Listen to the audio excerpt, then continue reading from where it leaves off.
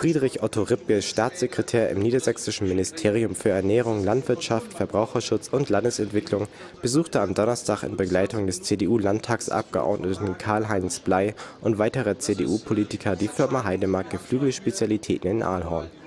Firmenchef Bernd Kalvelage stellte das am Standort Aalhorn in den vergangenen Jahren stark gewachsene Unternehmen vor. Heidemark legt großen Wert auf Transparenz bei der Produktion.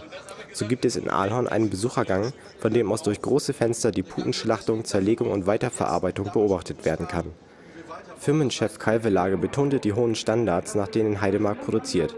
Wir hatten noch nie so sichere und preiswerte Lebensmittel wie heute, stellte Staatssekretär Rippke fest